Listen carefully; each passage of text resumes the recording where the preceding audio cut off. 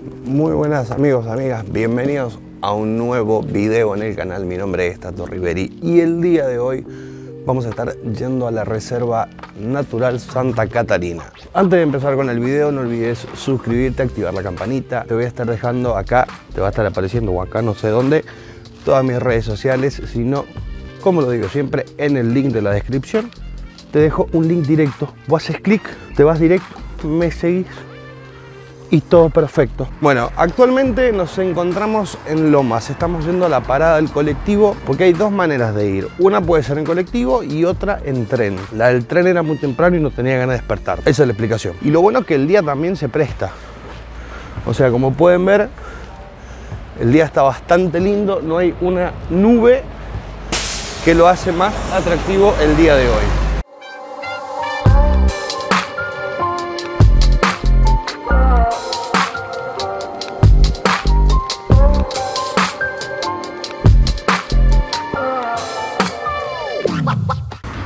Y ahora sí, hemos llegado a la Reserva Natural Municipal Santa Catalina, que parece que no se puede ingresar con vehículos o moto, pero sí se puede ingresar caminando.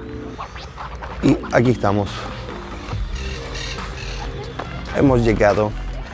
Esta es una de las tantas reservas naturales que tiene la provincia de Buenos Aires, pero esta está ubicada en lo que es zona sur y acá tienen los horarios de visita Otoño-invierno, lunes a viernes de 9 a 17, sábado y domingo de 10 a 18, primavera-verano.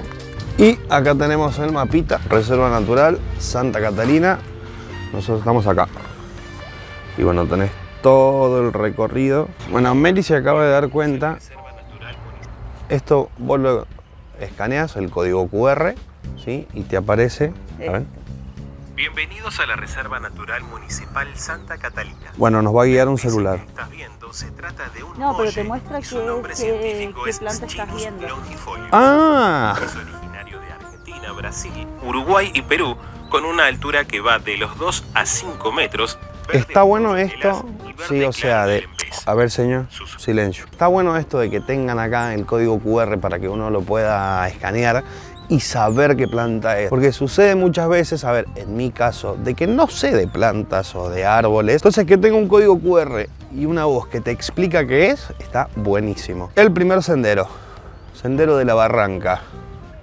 Che, qué lindo lugar. O sea, lo bueno del día es que está soleado. ¿Querés salir? Bueno, pero con barbijo. Hola. ¿Qué tal? Ay, acá pasa el tren que me decían. Claro.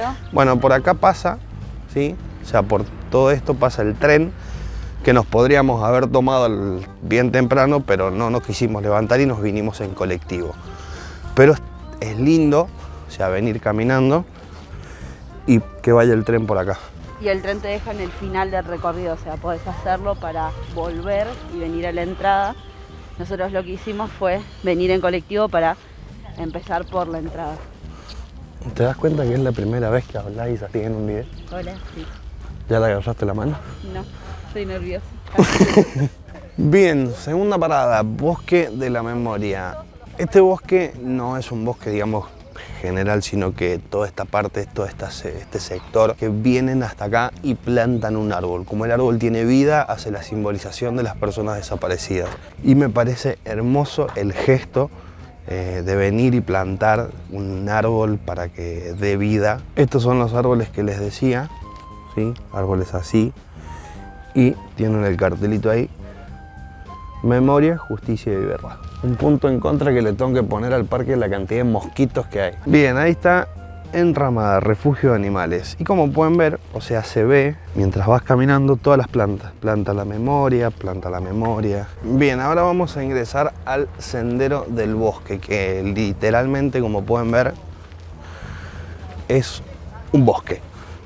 Esto me recuerda, a ver, los que son seguidores del canal eh, recuerdan los videos de Pascanas, que hay este tipo de árboles y este tipo de vegetación también, o en todas las reservas, pero un senderito y con estas imágenes eh, para venir a pasar el día y disfrutar es espectacular. Y bueno, este es un tembetarí, que es más conocido como teta de perra, como pueden ver, o sea, tiene los, pinchecitos. Y lo que sí, hay demasiados mosquitos, así que traigan repelente, no se queden sin repelente, pues se las van, se van a lamentar como me estoy lamentando yo en este momento. Se van a encontrar un montón de senderos, por todos lados van a ir caminando y se van a encontrar senderos por acá, senderos por allá. Todos los senderos que tiene la reserva conducen todos al mismo lugar, que ya vamos a llegar.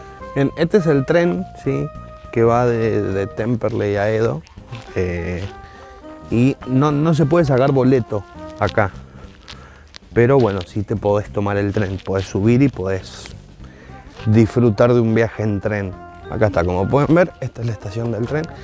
Y obviamente, si toda esa línea amarilla que se ve ahí es porque pasa el tren. O sea, actualmente sigue pasando el tren. Tenés mesitas para sentarte. Y ahora hacemos una parada técnica porque, como saben en este canal, es hora del mate. A disfrutar. Con el verde, los mosquitos y un montón de comida.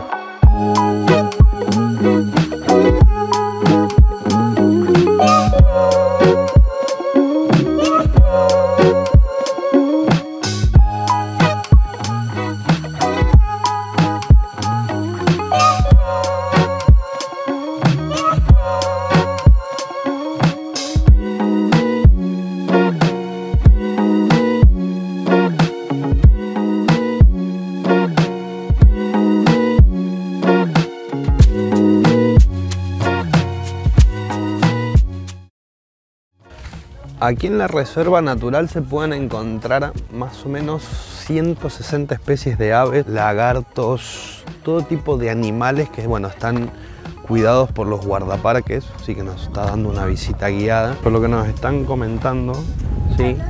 esto en un mes está lleno de mariposas, abejorros, todo. Este es un mini estanque que la idea que tienen es llenarlo de mojarritas para que se puedan alimentar. Una de las mariposas que se puede encontrar comúnmente es la mariposa espejito, que es esta de acá, que como pueden ver, o sea, si la ven de costado, estas partes blancas se ven como espejitos. Bien, efectivamente tuve que volver a preguntar porque no me acordaba el nombre de la planta. Esta planta que está acá es más conocida como la pasionaria. ¿Por qué? Por la pasión de Cristo. Como bien les dije, como bien esto tiene, esto que ven acá son los clavos que le clavaron a Jesús. Esta es la corona.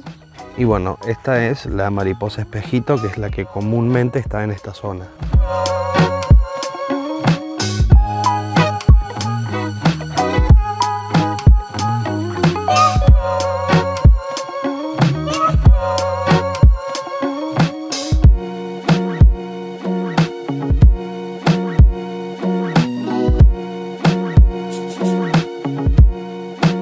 Y ella es la señorita guardaparque que nos está haciendo todo el tour y anda regalando plantas a todos.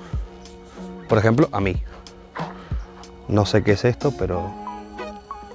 Este es un clavel del aire. Bueno, y como ven, este es un clavel del aire. Estos son los que lo van a ver muchas veces en los árboles como enganchados. Es como una planta que se engancha a una rama de un árbol grande. Todos estos pallets, sí, que ustedes ven acá, que usted, uno pensará y dirá, me quiero llevar todos esos pallets para mi casa porque bueno, no, no se puede. Lo que hacen con los pallets, los cortan, ¿sí? y como pueden ver, está todo, toda la sectorización, ¿sí? para dividir, por ejemplo, el jardín de las mariposas, el vivero, el invernadero, todo. Está todo hecho con los pallets. Todo, todo, todo. O sea que lo bueno de acá, o sea, de la reserva más que nada, es que se utiliza todo todo lo que ven se utiliza. Bien, la Reserva Santa Catalina en general tiene 750 hectáreas y justo en la parte municipal, sí que sería esta parte en la que estamos ahora, son 18 hectáreas. Y ahora lo que vamos a hacer, vamos a ir al vagón, sí, este de acá, este es un vagón que eh, trajeron los ingleses para exportar el grano. Antes este vagón estaba en el tren que iba a La Plata. Dejaron uno acá que ahora sirve como museo, que tienen animales en Formol. Lo que me decían que en el sendero de los lagartos, por ejemplo, habían lagartos, pero bueno, ahora no, porque es una cuestión del tiempo, pero en verano se saben poner en las vías del tren, en la piedra, lo almacena todo el calor, se puede ver los lagartos ahí acostados lo más bien. Y acá estoy viendo en madera, que no sé si se puede ver por una cuestión de la luz, pero bueno, es parece la cabeza de un indio, pero tiene, eh, es enorme. Ahí está, ahí se puede ver.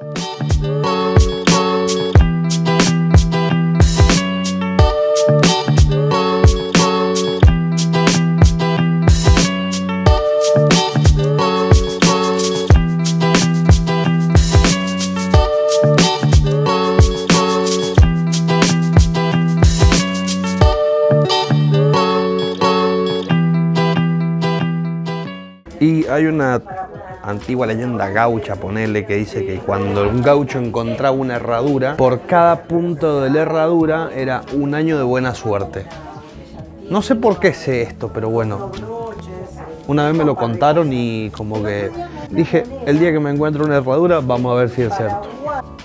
Algo que tengo que rescatar de esta zona eh, es que si bien hay calles, o sea, está bordeada por calles que van autos, no se escucha absolutamente nada. Es como si estuviera, se escuchan unos gritando ahí, pero tan cerca, pero eh, lo que es una carretera, una ruta, no se escucha eh, muchos autos y hace cuenta que es como estar en el medio del campo, porque no hay otra explicación. Lo que hacen los, los guardaparques es cerrar los pasos porque mucha gente se cola y empieza a robar y a romper todo.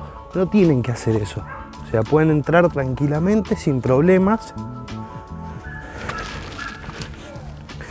y no romper nada. Bueno, volvimos a meternos por otro caminito más. No tengo idea de dónde estamos yendo. Caminar con todo este verde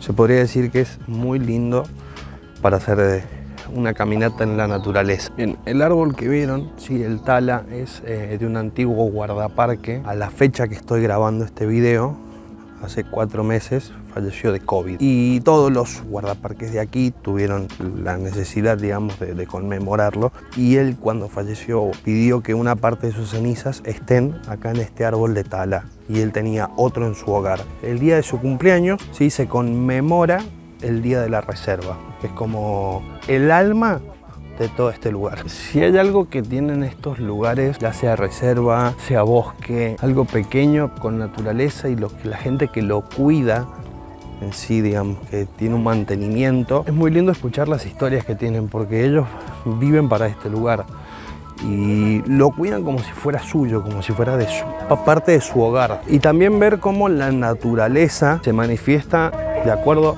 a la necesidad de cada uno. eh, y toda esta experiencia me está pareciendo hermosa. Y acá volvimos otra vez a las vías. O sea, volvimos otra vez al mismo lugar. O sea, nosotros habíamos entrado por allá, dimos toda la vuelta. Y esta imagen, o sea, es, es muy lindo ver, por ejemplo, bueno, las vías, tener de los dos lados el bosque que, que atraviesa por el medio. Como así también, o sea, de aquel lado que se ve la estación, que es donde estábamos nosotros, y dimos toda la vuelta y salimos por acá. Te digo que este día, o sea, además de caminar, que el día acompañó, el clima lo acompañó, los mosquitos no, odio los mosquitos. Está bueno, me gusta este tipo de, experiencias en la naturaleza, de poder caminar, poder conocer. Creo que en todo lo que va del recorrido me mencionaron una infinidad de plantas y especias que no me acuerdo. Ahora vamos a seguir caminando por acá por el borde de la vía y vamos a llegar a la entrada o una de las entradas que fue donde ingresamos al principio. Viendo casi todo el recorrido y todo lo que tiene dentro de acá de la Reserva Santa Catalina, yo conozco la reserva de Morón, fuimos también, hay videos también de la reserva de Puerto Madero, pero esta en particular me parece mm, bien explicada, bien detallada, muy bien sectorizada. Los guardaparques están para ayudarte, los vas a ver todos vestidos de verde. Todos los senderos están muy bien explicados. Se nota que hay gente trabajando para el parque, dedicada a preservar este lugar, a que todo se mantenga bien, que los animales estén en su hábitat, que no venga gente a destruir. Vimos árboles pintados con aerosol cuando enfrente tenían un cartel de no pintes, pero tiene ese alma de, de naturaleza intacta, por más de que esté la mano del hombre, sí, pero es una mano del hombre que cuida y que preserva el lugar. Y acá hay un árbol cortado de raíz. Y bien amigos, llegamos al final del video. Espero que les haya gustado, que lo hayan disfrutado. ¿Les gustan este tipo de parques? ¿Les gusta este tipo de reserva? ¿Vendrían algún día a pasar el día? hacer el recorrido. Recuerden que pueden venir, pueden hablar con Susano, pueden hablar con Gastón, que está acá al lado mío, que también es guardaparque, que le gusta a los Simpsons. O sea, nos llevamos bien, por eso. Eh, recuerden suscribirse, activar la campanita, seguirme en todas mis redes sociales y nada más gente, hasta acá llegó este video. Vamos a seguir recorriendo lugares, reservas naturales, pueblos, lugares y toda esta naturaleza hermosa. Nada más para decir. Chao.